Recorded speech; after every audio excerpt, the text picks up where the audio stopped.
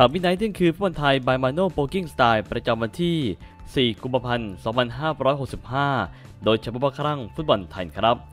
เรามาดูข่าวฟุตบอลไทยในช่วงของเที่ยงคืนวันนี้กันดีกว่าครับ ว่าจะมีข่าวอะไรน่าจะกันบ้างฟุตบอลไทย ช่วงเที่ยงคืนวันนี้ มาดามแป้งเปิดชื่อแข้งนอกรายแรกดึงร่วมทีมชาติไทยลุยศึก AFC U23 ปีในครั้งนี้ โดยทีมชาติไทยชุด U23 ปีนะผมภายใต้หัวเรือใหญ่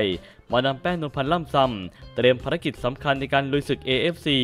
ยู23ปีเอเชียนคัพ 2022 รอบสุดท้ายที่ประเทศอุซเบกิสถาน ซึ่งทางล่าสุดมาดามแป้งนั้นได้เผยถึงความคืบหน้าในการเตรียมทีม ของทีมชาติไทยชุดยู23ปีนี้มาว่าโคโยงนั้นกำลังตระเวนดูฟอร์มนักเตะ เพื่อที่จะคัดเลือกเข้าสู่ทีมชุดลุยศึกยู23ปีเอเชียในครั้งนี้ ส่วนแข้งไทยในต่างแดนรายแรกที่จะมาร่วมทีมอย่างแน่นอนนะฮะ นั่นก็คือโจนาธานเข็มดี แนวรับจอมแกร่งจากสโมสรโอเดนเซ่ BK ทีมในลีกสูงสุดของทางเดนมาร์กในครั้งนี้โดยตอนนี้ทั้งทางโค้ชโย่งได้ตระเวนดูตัวนักเตะที่ลงเล่นในฟุตบอลลีกอยู่นะ เพื่อจะหาผู้เล่นที่ดีที่สุดไปแข่งขัน ชิงแชมป์เอเชียในครั้งนี้ ส่วนในรายของนักเตะที่ค้าแข้งอยู่ต่างประเทศเนี่ยยังไล่หาโจนาธานเข็มดีอยู่ และก็ติดต่อกันอยู่ตลอดเวลา แถมล่าสุดน้องคนนี้เพิ่งจะลงเล่นชุดใหญ่ในเกมอุ่นเครื่องกันอีกด้วย ถือเป็นเรื่องที่ดี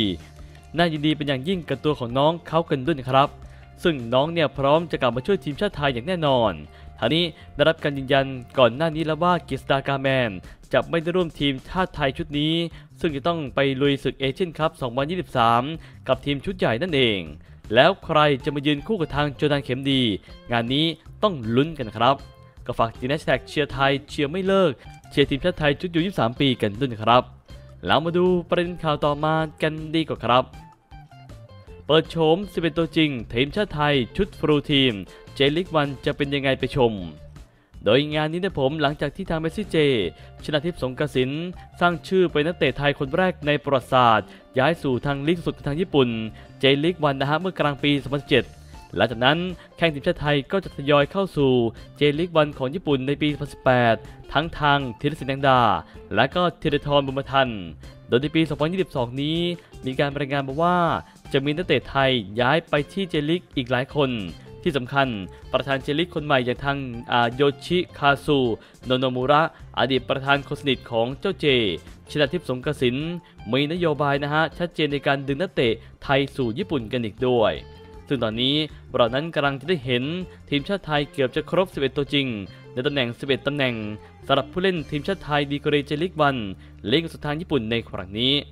ซึ่งก่อนหน้านี้ทางอากิระนิชิโนะกุนซือ ระดับปรมาจารย์ของญี่ปุ่นนั้น ได้เปิดเผยมาว่า หากทีมชาติไทยจะไปบอลโลกจำเป็นจะต้องส่งผู้เล่นออกไปต่างแดนให้ได้มากที่สุดในครั้งนี้ โดยเฉพาะบนเวที J League One ของญี่ปุ่น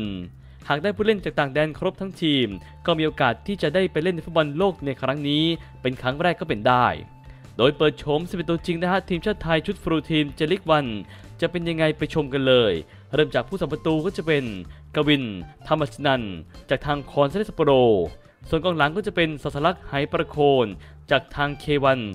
คุนบุกคุนไดมอเตอร์ มอนิเอลทอมเบียจากทางเจวัน คาดย้ายไปหลังจบฤดูกาลนี้ กิสดากาแมนจากทางเจวันคาดจะย้ายไปหลังจากจบฤดูกาลนี้ และก็ธีรทรบุญมาทันจากทางเจวันวิโซโกเบ และก็ยูโกฮาม่าเอฟเหมือนนอตส่วนกองกลางตัวรับนั้นก็จะเป็นทิติพันธ์พ่วงจันทร์อดีตเก่านะครับผมโอยตัดทริตะ และก็วิรเทพป้อมพันธ์โดยคาดกันว่าจะย้ายไปเจลิกหลังจบฤดูกาลนี้ ส่วนกองกลางตัวรุกนั้นก็จะมีสุภโชคสารชาติ อ่าคาดที่ย้ายไป J League หลังจบฤดูกาลนี้ชนาธิป สรงกระสินธ์ตอนนี้อยู่ที่คาวาซากิ ฟรอนตาเล่ และก็เจริญศักดิ์วงษ์กรณ์ ก็ถ้าหายจากการบาดเจ็บนี้ และฟอร์มแรงเหมือนเดิม มีโอกาสจะย้ายทีมสูงมากเลยนะ ส่วนกองหน้านั้นก็จะเป็นธีรศิลป์แดงดา จากทางชิมิสึเอสพัลส์ที่กลับมาอยู่ที่ประเทศไทยนั่นครับนะฮะนี่นะผมก็เป็นการจัดทัพ11ตัวจริง ในระบอบแบบนักเตะจากทางเจลิกทั้งหมดเลยนะฮะ มีแค่ทางสัสลักษ์ไหประโคนคนเดียวเท่านั้น ที่มาจากทางเคลิกในครั้งนี้ ถือว่างานนี้ผมถ้าได้เห็นชุดนี้นะฮะก็ถือว่าชุดที่ไม่ธรรมดาเลยทีเดียวต้องดูกันต่อไปก็แล้วกันว่าจะเป็นเช่นไร เรามาดูข่าวต่อมากันดีกว่าครับ มาดามแป้งกดไลค์ต่อสัญญามาโนชี้คือสิ่งสำคัญถึงความต่อเนื่องในครั้งนี้ โดยมาดามแป้งนวลพันธ์ล่ำซำผู้จัดการทีมชาติไทยนะฮะมองว่าเป็นเรื่องที่ดีนะ หลังสมาคมกีฬาฟุตบอลนั้นต่อสัญญาฉบับใหม่ ให้กับชางมาโนโพกิ้งกุนซือทีมชาติไทย ออกไปถึงปี 2023 เพื่อความต่อเนื่องในการทำงาน เพราะในปี 2022 มีทัวร์นาเมนต์สำคัญรออยู่ เริ่มจากทางเอเชียนคัพโดยตามที่ทางสมาคมฟุตบอลแห่งประเทศไทย ภายใต้การบริหารงานของบิ๊กอ๊อดนะฮะ นายกสมาคม ได้ลงนามต่อสัญญาฉบับใหม่กับทางมาโนโพลกิ้ง หัวหน้าผู้ฝึกสอนฟุตบอลชายทีมชาติไทยชุดใหญ่ไปถึงปี 2023 หลังจากก่อนหน้านี้สมาคมกีฬาฟุตบอลแห่งประเทศไทยทำการแต่งตั้งมาโนโพกิ้งเป็นหัวหน้าผู้ฝึกสอนในช่วงเดือนตุลาคม ก่อนจะพาทีมชาติไทยคว้าแชมป์ศึกฟุตบอลชิงแชมป์อาเซียน 2020 และก็เป็นแชมป์สมัยที่ 6 มาครองได้สำเร็จในครั้งนี้ ส่วนด้านมาดามแป้งนวลพันธ์ล่ำซำผู้จัดการทีมชาติไทย เผยว่ากุนซือมากประสบการณ์ วัย45ปี เข้ามาคุมทัพช้างศึกตามด้วยระยะสัญญาระยะสั้น ภายใต้เวลาการเตรียมทีมที่จำกัด แต่กลับทำผลงานออกมาได้อย่างยอดเยี่ยม พาทีมคว้าแชมป์สมัยที่ 6 มาครองได้ พร้อมสถิติไม่แพ้ใคร ตลอดทัวร์นาเมนต์ที่สำคัญทีมชาติไทยชุดนี้เป็นทีมแรกของโลกที่คว้าแชมป์ระดับเมเจอร์ โดยการส่งนักเตะลงเล่นครบทุกคน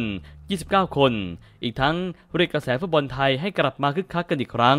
ในช่วงสถานการณ์ที่ยากลำบากในแบบนี้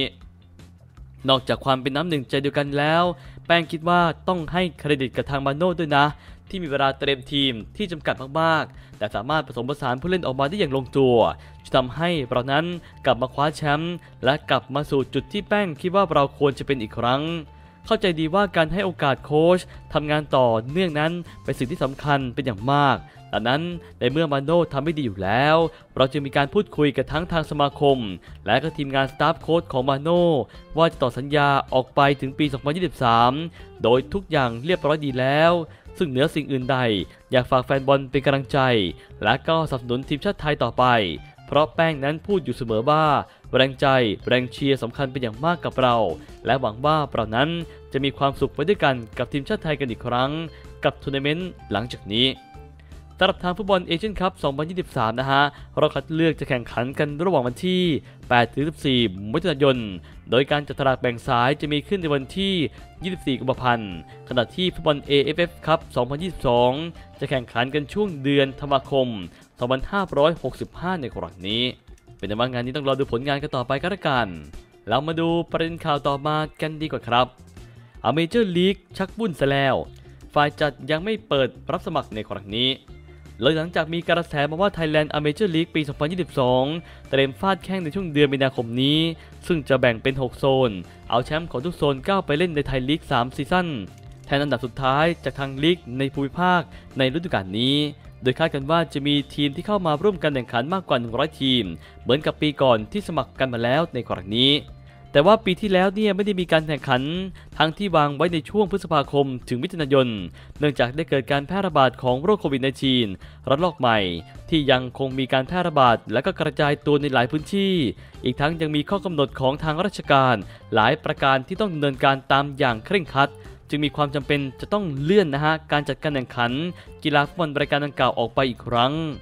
ล่าสุดทีมงานข่าวได้สอบถามไปยังฝ่ายจัดการแข่งขัน Thailand Amateur League ปี2022 เปิดเผยได้ว่ายังไม่สามารถเปิดรับสมัครสโมสร หรือว่าสมัครทำการฟาดแข้งในรายการนี้ได้ แม้ว่าจะวางเอาไว้ในช่วงเดือนกุมภาพันธ์ เนื่องจากกำลังรอมติในการจัดการแข่งขัน เพราะมีความเสี่ยงในเรื่องของการติดโควิด -19 สายพันธุ์โอไมครอน เพราะการตรวจ ATK อาจจะต้องเป็นเรื่องที่สโมสรใช้เงิน ซื้อเครื่องตรวจมากันเอง เนื่องจากจำเป็นอย่างมากที่ต้องสร้างความปลอดภัย ก่อนจะทำการลงสนาม นั่นทำให้หลายทีมอาจจะมีปัญหาสภาพทางการเงินของทีม เป็นเหตุให้ฝ่ายจัดการแข่งขันกำลังจะหาทางออกในเรื่องนี้ ก่อนจะชี้แจงให้เร็วที่สุดในครั้งนี้นะแต่ผมเป็นที่ว่างานนี้นะฮะต้องรอดูกันต่อไปก็แล้วกัน เริ่มวุ่นๆซะแล้ว Amateur League ในครั้งนี้ และนี่ก็เป็นข่าว midnight เที่ยงคืนฟุตบอลไทย by มาโนโพลกิ้งสไตล์ประจำวันที่ 4 กุมภาพันธ์ 2565 โดยชาบอบครั่งฟุตบอลไทยครับ